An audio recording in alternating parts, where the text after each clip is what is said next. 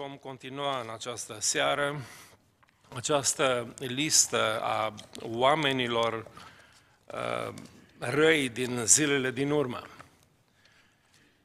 Să știți că în zilele din urmă vor fi vremuri grele, spune Apostolul Pavel în 2 Timotei, capitolul 3, și am înțeles că expresia aceasta este mai degrabă vremuri cumplite, vremuri îngrozitoare, vremuri teribile. De fapt, dacă ne uităm în Evanghelia după Luca, la capitolul 21, uh, Domnul spunea despre vremurile acelea și aș vrea să ascultați uh, cât de îngrozitoare pot să fie asemenea vremuri ale sfârșitului. Vor fi semne în soare, în lună, în stele și pe pământ va fi strâmtorare printre neamuri care nu vor ști ce să facă la uzul urletului mării și al valurilor. Oamenii își vor da sufletul de groază în așteptarea lucrurilor care vor să se întâmple pe pământ, căci puterele cerului vor fi clătinate. Uh, vă dați seama numai din cuvintele acestea ale Mântuitorului că vremurile acestea ale sfârșitului vor fi vremuri cumplite de-a dreptul uh, îngrozitoare. Ei, în seara aceasta vom uh, studia expresia aceasta deosebită, oamenii sfârșitului vor fi oameni fără evlavie, vor fi lipsiți de evlavie. Um, aș vrea să ne uităm imediat la termenul acesta, care este foarte interesant, anosios, în limba greacă, uh, înseamnă nesfânt, profan, indecent, fără rușine, orb la modestie, orb la decență, lipsit de puritate, fără neprihănire, oameni lipsiți de ceea ce este sfânt. De fapt, uh, foarte multe ediții ale Bibliei în limba engleză uh, traduc unholy, nesfânt, oameni nesfinți, lipsiți de sfințenie. Uh, avem în dicționarul limbii române expresia aceasta evlavie, care înseamnă religiozitate profundă, exteriorizată printr-o scrupuloasă îndeplinire a practicilor bisericești, înseamnă cucernicie. Figurativ înseamnă comportare respectoasă și admirativă față de cineva sau de ceva. Ca și sinonime găsim cucernicie, oameni cucernici. Vă duceți aminte de uh, sutașul uh, Corneliu, este om cucernic, este un om uh, Um, religios, dacă vreți, devoțiune, pietate, religiozitate, smerenie. Uh, înseamnă în același timp atașament sincer și puternic pentru biserică și practicile ei. Un om evlavios respectă biserica. Dacă ați fost uh, atenți de multe ori în România, ați fost în tramvai și când tramvai a trecut pe lângă o biserică, ați văzut ortodoxi serioși, își fac cruce pentru că ei trec pe, pe lângă o biserică, pentru lucru sfânt. Pentru ei, biserica este un lucru sfânt. Uh, dacă mergi în vizită la vreo mănăstire în uh, România chiar, dacă nu ești îmbrăcat decent, o să spună de la poartă că nu poți să intri, că ăsta este un loc sfânt. Am avut niște colegi de clasă de la liceu care n-au avut voie să intre în biserică pentru că nu arătau prea sfinte. Uh, pioșenia aceasta și respectul față de lucrurile sfinte este o caracteristică a unui creștin adevărat. Oamenii vremurilor din urmă, spune Sfânta Scriptură, că vor fi lipsiți de această calitate, de acest respect față de lucrurile sfinte. Practic, vor fi oameni nesfinți, lipsiți de sfințenie. Uh, un alt cuvânt uh, folosit în această direcție este cucernicie. Cucernicie înseamnă credință, cuvioșenie, cuvioșie, evlavie, pietate, pioșenie, piozitate, religiozitate, smerenie, devoțiune, uh, blagocestenie, uh, din binecuvântarea, cuvânt de origine slavă, Hristotie, râvnă, râvnire, smerire. Acestea sunt câteva dintre uh, traducerea acestui, acestui cuvânt cu cerni, cu cernicie. Ehm, eu fac puține eforturi aici să înțelegem bine cuvintele astea care le folosim, pentru că dacă nu le înțelegem, s-ar putea să nu înțelegem multe lucruri după aceea. În uh, Scriptură apare cuvântul acesta necuvios, omul lipsit de smerenie. De fapt, omul fără evlavie este un necuvios, necuvios. Aici înseamnă om lipsit de bună cuviință, de respect față de cele sfinte. Știți că numele diavolului este necuviosul? Un nume de a diavolului în limba română este necuviosul, de ființa care este lipsită de cuvioșenie, de, uh, practic, de, de evlavie. Dar haideți să vedem cum a fost tradus cuvântul acesta în Bibliile românești. Văd că dumneavoastră vedeți mai bine decât mine acum. Uh, predicatorii întotdeauna ați dezavantajat. Trebuie să stea în picioare în timp ce dumneavoastră stă jos și acum și vedeți mai bine decât noi. Uh, trebuie făcut ceva și cu predicatorii să aibă binecuvântarea unui ecran mai bun. Uh, traducerea acestui cuvânt în, în Bibliile românești este foarte diferit. De exemplu, Biblia de la Blaj uh, zice fără cucernicie. Deci oamenii, vremurile din urmă, vor fi lipsiți de cucernicie. Și am învățat ce înseamnă cucernic. Biblia, uh, Noul Testament de la Belgrad este prima traducere a Noului Testament în limba română, 1650. Necurați. Oamenii vor fi necurați nesfinți, nu? necurați în vremurile din urmă. Biblia catolică este și mai uh, uh, categorică, îi numește sacrilegi pe oamenii aceia din vremurile din urmă. Oameni care comit sacrilegiu. A comite sacrilegiu înseamnă a călca în picioare ceva sfânt, a sfida lucrurile sfinte. Uh, Bartolomeu Anania, care a tradus Biblia uh, ortodoxă cea mai recentă, este un om, a fost un om extraordinar, episcop de Cluj, înseamnă, uh, el zice, pângăritori. Om, oameni care pângăresc lucrurile sfinte, le calcă în picioare. Uh, Biblia ortodoxă, oficială ortodoxă, înseamnă oameni fără cucernicie, traduc cuvântul acesta. Uh, cea trinitariană îi numește necuvioși, dar cea mai drăguță dintre toate este Nou Testament pe înțelesul tuturor, care zice răi până în măduva oaselor. Asta mi-a plăcut cel mai mult. Răi până în măduva oaselor. Deci nu, nu se poate mai departe să fii rău, un om rău, rău, rău de tot. Ehm, haideți să vedem câteva caracteristici ale omului fără evlavie. Omul fără evlavie este dominat de patimile lui.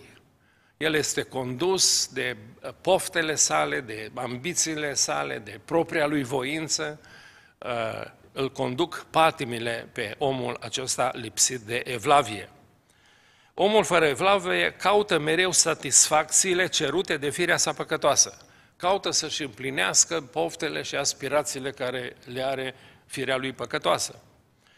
Numărul 3, nu are pic de rușine. Este un om lipsit totalmente de rușine, un nerușinat, un om fără rușine, care nu se rușinează de nimic. O să vedeți câteva versete din Vechiul Testament care îl scot în evidență pe omul lipsit de evlavie că este nerușinat, nu are rușine de nimic. Uh, în al patrulea rând, este complet orb la decență. Se îmbracă cum nu trebuie, vorbește cum nu trebuie, uh, se poartă cum nu trebuie, nu vezi decență la el deloc. Aici fac o uh, mică pauză și vreau să vă spun o experiență deosebită. Am invitat o profesoară de la Loyola University, îl cunoscuse personal pe Mircea Eliade, și după moartea lui Mircea Eliade, doamna Irinel Iliade a donat bisericii noastre din, din Chicago o parte din biblioteca lui Mircea Eliade. Noi am botezat biblioteca bisericii Philadelphia Mircea Eliade în timpul acela. Și am invitat-o pe această profesoară la noi la biserică. Ei, a venit la noi la biserică și când s-a terminat serviciu, m-am dus direct la ea să întreb cum să simți la noi, să aud părerile ei despre biserică, ceva, să-mi spună, zice, domnule, mi-a plăcut mult la voi, zice, dar sunt oameni în biserica voastră care n-au niciun Dumnezeu, n-au niciun respect față de Dumnezeu. Dumneatale, zice, scoți inima aici pe anvon și îți dai sufletul predicând, dar ea, zice, își bați joc de matale, vorbesc prostii, în spatele meu bârfeau, zice, și vorbeau lucruri murdare. A nimerit în fața unor fraze ai noștri de treabă, nu?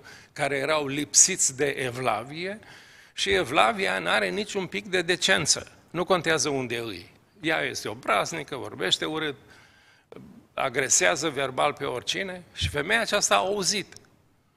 Și m-a dorut sufletul să-mi spună că eu păstoresc o biserică care nu are frică de Dumnezeu, nu? Femeia aceasta a știut că la biserică oamenii se poartă ca la biserică, nu? Nu ca în pădure. În al cincilea rând, omul lipsit de evlavie caută mereu plăceri în tot ce este anormal. Caută plăceri în toate lucrurile care nu sunt normale. De aceea, vedeți câte se întâmplă în lumea noastră astăzi care îi promovează pe acești oameni care își caută plăcerile în anormalitate. Societatea de astăzi se străduiește să ne obișnuiască cu anormalul și să ne facă presiuni ca să-l acceptăm ca și normal al vieții noastre, nu? În al, în al șaselea rând, folosește un limbaj religios ca să-și atingă, atingă scopurile mizerabile. Învață imediat limbaj religios, știe cum să vorbească ca să profite. Iată câteva versete de la bun început. Ă, dacă vă uitați în Iov, capitolul 15, versetul, versetele 4 și 5, este din cuvântarea lui Elifaz din Teman, care supărat pe Iov, care ă, se pretindea neprihănit, sfânt, nevinovat înaintea lui Dumnezeu, îl apostrofează foarte urât și spune așa, tu nimicești chiar și frica de Dumnezeu nimicești orice simțire de evlavie față de Dumnezeu. Nelegiuirea ta îți cârmuiește gura și împrumuți vorbirea oamenilor vicleni. Nu era deloc adevărat despre Iov ceea ce spunea uh, ăsta. Dar observați limbajul. Zice, tu vorbești și nimicești orice evlavie, orice respect față de Dumnezeu. Așa? și îți cârmuiește gura ă, nelegiuirea care este în tine. Vorbești ca și oamenii jmecheri, vicleni. Un alt ă, verset îl găsim în Iov, capitolul 22, ă, versetul 4, unde aici se implică faptul că pedeapsa aceasta care a venit peste Iov Uh, iată, iată ce spunea, pentru evlavia ta te pedepsește el oare și intră la judecată cu tine? Tu nu ești deloc evlavios, vrea să spună acest prieten de-al lui Iov care îl acuză, nu pentru evlavia ta te pedepsește Dumnezeu acum, ci pentru probabil lipsa ta de evlavie. Profetul Osea, la capitolul 6, versetul 4, vorbea despre poporul lui Dumnezeu din timpul acela. Zice, ce să-ți fac Efraime? Ce să-ți fac Iudo? Evlavia voastră este ca norul de dimineață și ca roa care trece curând. Aveți așa o spoială de respect față de Dumnezeu că cum răsare soarele să duce toată roa asta de pe religia asta voastră de formă. Mi s-a părut o expresie foarte plastică a profetului Osea. Apoi, în 1 Timotei 4 cu 8, Apostolul Pavel ne spune foarte clar că Evlavia nu este o simplă deprindere, un exercițiu de voință, nu? Căci deprinderea trupească, zice Apostolul Pavel, este de puțin folos. Pe când evlavia este folositoare în orice privință, întrucât ea are făgăduința vieții de acum și a cele viitoare. Sunt oameni care fac eforturi să arate pocăiți, să arate uh, evlavioși, nu? Își fac cruci, icoane, sărute icoane, fac tot ce știu ei, Dar, zice apostolul, deprinderea astea trupească este de puțin folos. Pe când adevărata evlavie, care este respectul față de Dumnezeul cel mare și atotputernic, ea este folositoare în orice privință. Dar haideți să facem o incursiune în Biblie și să vedem câțiva oameni fără evlavie, oameni lipsiți de sfințenie despre care vorbește uh, Sfânta Scriptură. Uh, oameni care nu au nimic sfânt în ei. Ei mimează o religiozitate, sunt firești și carnali, corupți, lipsiți de rușine. Lipsa de evlavie le dă foc hainelor, să expun fără rușine poftelor firilor păcătoase. Uh, noi știm bine că noi, pentecostale, am avut o, o luptă serioasă de-a lungul istoriei să îi îmbrăcăm pe oameni să arate ca pocăiții, nu-i așa? A fost o perioadă îngrozitoare a mini-fustelor în, în, în perioada tinereții noastre, nu? Uh, mulți vă aduceți aminte de perioada aceea. Dacă voiai să fii la modă, trebuia să ai o rochie foarte scurtă, nu? Uh, și foarte multe din pocăitele noastre veneau la biserică așa, nu? Asta era moda. Țin minte că am fost invitat în Europa, nu vreau să spun nici țara și nici orașul, să țin, un, să țin o conferință despre familie. Și conferința s-a ținut uh, în biserica respectivă, era o seară din timpul săptămânii, și când s-a umplut sala, m-am dus la păstorul bisericii și am spus, de unde ai, reu- cum ai reușit să aduci atâția nepocăiți, atâția ortodoxi la biserică? Ăsta a albit săracul ă, la întrebarea mea și mi-a spus, dar nu e niciunul. Atunci am albit eu. Ă, atunci mi-a explicat omul că ă, așa e moda în orașul ăla în Europa, nu sunt haine mai pocăiești și că surorile se îmbracă așa cum se îmbracă toată lumea. Iertați-mă, eu am zis că-ți deschis la minte și am văzut tot ce, trebu- ce putea fi văzut în lumea asta. Dar am fost șocat, efectiv am fost șocat de uh, modul în care erau îmbrăcate sau dezbrăcate surorile din, din biserica aia. Erau lipsite de rușine în modul în care erau îmbrăcate. Haideți să ne ducem puțin prin Scriptură să vedeți ce spune Biblia despre uh, oamenii aceștia lipsiți de uh, respect pentru cele sfinte, care trăiesc în nesfințenie. Uh, un prim verset este portretul femeii depravate din uh, Proverbe 7, 7 13 la 15.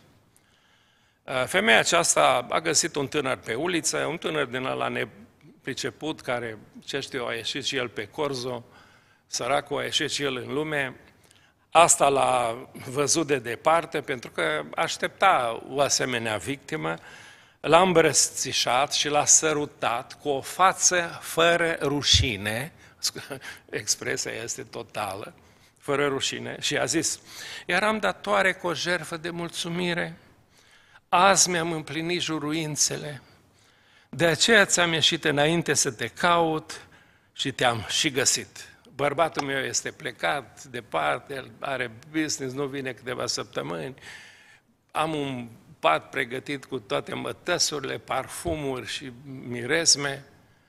Și spune Sfânta Scriptură că ăsta s-a dus așa ca bou la tăiere după doamna asta care l-a tras în păcat.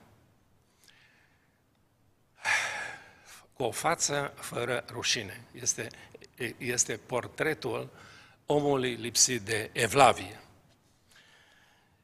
Despre oamenii din vremea sa, profetul Cefania uh, are un cuvânt extraordinar, le spune, neam fără rușine. Veniți-vă în fier și cercetați-vă, neam fără rușine. Cefania 2 cu 1.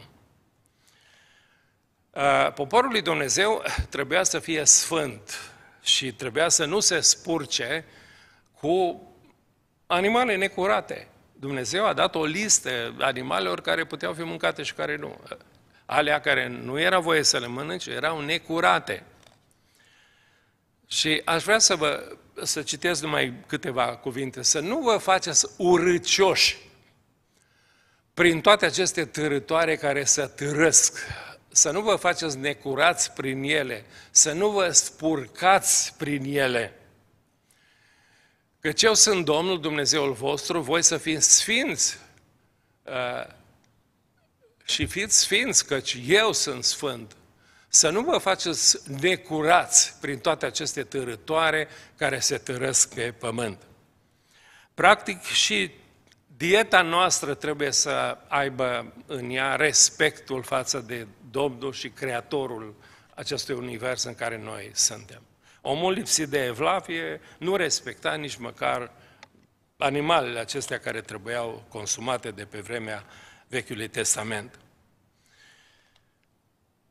Apoi, în Ezechiel, capitolul 22, uh, de la versetul 9 la 11, descoperim, de fapt, că unul dintre motivele pentru care Israel s-a dus în robie este că a profanat lucrurile sfinte, a avut lipsă de respect, uh, a fost lipsit de evlavie față de lucrurile sfinte ale lui Dumnezeu. Tu îmi cunoști locașurile mele cele sfinte, îmi spurci sabatele, îmi nesocotești locașurile mele, îmi spurci sabatele. În tine sunt bârfitori ca să, uh, bârfitori, ca să verse sânge, în tine se mănâncă jerfe idolești pe munți, în mijlocul tău se fac desfrânări. În mijlocul tău se descopere goliciunea tatălui, în mijlocul tău este silită femeia în timpul necureției ei. În mijlocul tău fiecare se dedă la uriciuni cu nevasta aproape lui său, fiecare se spurcă prin amestecare de sânge cu nora sa, fiecare ne cinsește pe sora sa și pe fica tatălui său. Sunt cuvinte absolut îngrozitoare. Dar pedeapsa lui Dumnezeu a venit exemplară peste un neam care nu avea respect față de lucrurile sfinte, față de legea lui Dumnezeu, față de poruncile date de Dumnezeu. Și vedeți în câte forme se exprimă această lipsă de, de evlavie în poporul lui Dumnezeu. În uh, Noul Testament, în uh, Iuda, versetele 12 și 13, uh, se vorbește despre stâncele ascunse de la mesele de dragoste. Și frații de atunci făceau mese de dragoste și erau niște bolovani, niște stânci ascunse la mesele de dragoste. Ascultați cuvintele. Sunt niște stânci ascunse la mesele voastre de dragoste, unde se ospătează fără rușine, împreună cu voi, și se îndopă de-a binelea, niște nori fără apă, mânați încoace și încolo de vânturi, niște pom tomnatici fără rod, de două ori morți, dezrădăcinați, niște valuri înfuriate ale mării, care își spumegă rușinile lor, niște stele rătăcitoare cărora le este păstrată negura întunericului pentru vecie. Wow! Iată niște creștini lipsiți de evlavie, lipsiți de, de respect și de relație corectă cu Dumnezeu, care vin la mesele de dragoste, nu? Cu frații, Iuda este absolut necruțător cu ei, descriindu-i așa cum sunt. Uh, numărul 6. Oamenii stricați la minte văd în evlavie un mijloc de câștig. Uh, printre toți, pe toate sorurile de excroci care există în lumea asta, sunt excroci evlavioși. Okay? Care bat bisericile, povestesc minuni care de fapt n-au avut loc niciodată, uh, impresionează și umblă din casă în casă. În România am dat peste unul din ăsta, venea și stătea săptămâni, luni întregi la frați. Era omul Domnului de numă. Mânca bine, dormea bine, uh, după ce câțiva frați au venit să-l reclame că să lua de fetele lor când ei nu erau acasă, atunci l-au dat afară imediat pe ăsta. Era de fapt urmărit peste tot pentru excrocheriile lui și pentru aventurile lui extraconjugale cu fetele fraților sau femeile, surorile fraților care îl primeau în casă pe excrocul ăsta. Iată ce spune uh, Pavel în 1 Timotei, capitolul 6, versetul 5. Dacă învață cineva pe oameni învățătură deosebită și nu se ține de cuvintele sănătoase ale Domnului nostru Isus Hristos și de învățătura care duce la evlavie, deci învățătura o adevărată trebuie să ducă la un comportament evlavios, la evlavie, este plin de mândrie și nu știe nimic, ba încă are boala cercetărilor fără rost și a certurilor de cuvinte din care se naște pisma, certurile, clevetirile, bănuielile rele, zadarnicile ciocniri de vorbe ale oamenilor stricați la minte, lipsiți de adevăr și care cred că Evlavia este un izvor de câștig. Ferește-te de astfel de oameni, negreșit. Evlavia însoțită de mulțumire este un mare câștig. Dacă ești un om evlavios și ești mulțumit de ceea ce s-a dat Dumnezeu, asta e un mare câștig pentru viața ta. Dar când vrei să câștigi lucruri materiale din evlavia din care faci show, așa, atunci Domnul spune, ferește-te de oamenii ăștia și ai grijă pentru că au înșelat pe multă vreme, pe multă lume.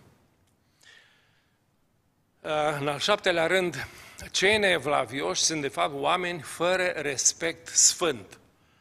Și Dumnezeu îi lasă la cheremul minții lor, îi lasă să-i conducă mintea lor stricată. Romani 1,28 Fiindcă n-au căutat să păstreze pe Dumnezeu în cunoștința lor, în conștiința lor, Dumnezeu a lăsat în voia minților blestemate să facă lucruri neîngăduite, să se poarte neevlavios, să se poarte nesfânt în mijlocul oamenilor. Pavel merge mai departe și uh, descrie chiar curvia ca lipsă de evlavie, lipsă de respect față de templul Duhului Sfânt, care este trupul, trupul omului. În 1 Corinteni, capitolul 6, versetele 18 la 20. Fugiți de curvie. Orice alt păcat pe care îl face omul este un păcat săvârșit afară din trup.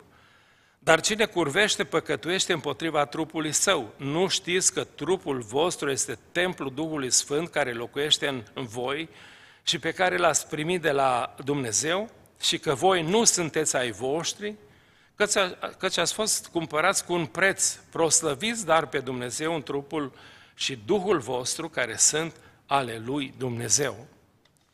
Observați, când uh, cineva comite asemenea păcate, Uh, este lipsă de sfințenie, lipsă de evlavie, lipsă de respect față de lucrurile sfinte, față de trupul nostru care este templul Duhului Sfânt.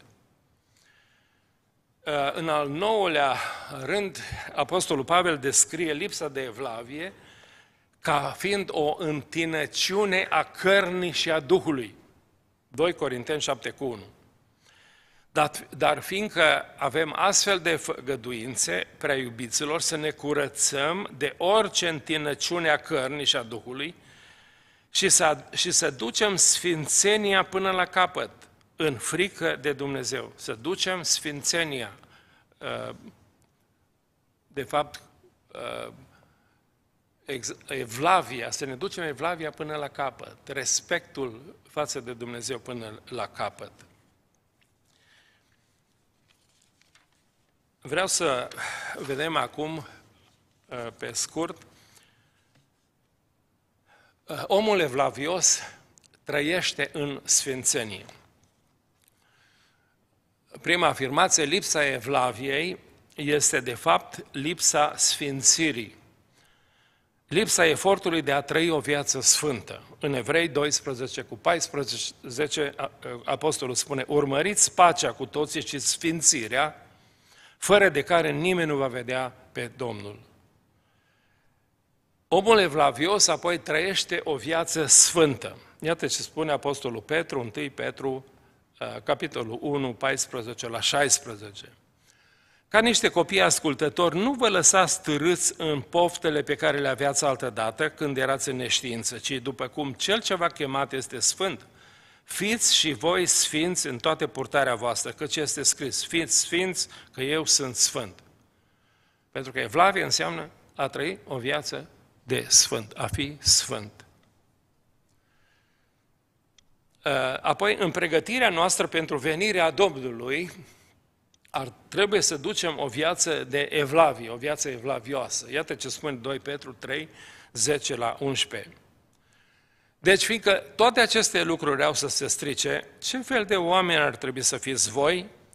Printr-o purtare sfântă și evlavioasă. Purtare sfântă și evlavioasă. Așa, așteptând și grăbind venirea zilei lui Dumnezeu în care cerurile aprinse vor pieri și trupurile cerești se vor topi de căldura focului. Apoi Apostolul Pavel uh, avertizează pe credincioși să rupă legăturile cu cei care se numesc credincioși, dar care sunt lipsiți de evlavie. Să nu umble cu ei, să nu îi aibă de prieteni. Iată ce spune în 1 Corinteni 5, 9 la 11.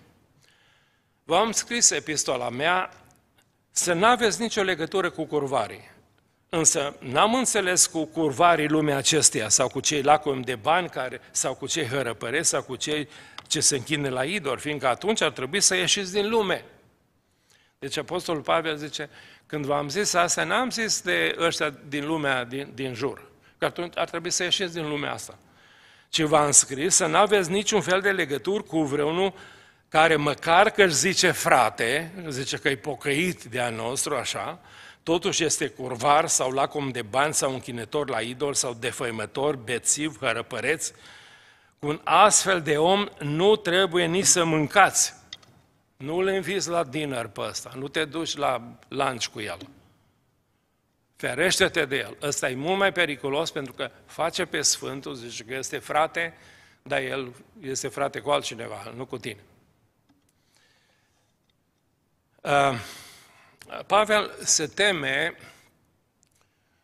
uh, de căderea credincioșilor exact în capcana asta, în lipsă de evlavie. Se teme că oamenii vor cădea în lipsă de evlavie.